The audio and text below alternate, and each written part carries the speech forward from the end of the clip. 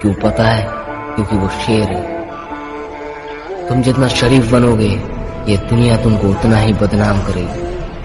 एक बार बदनाम होके तो देखो, ये दुनिया तुमको सलाम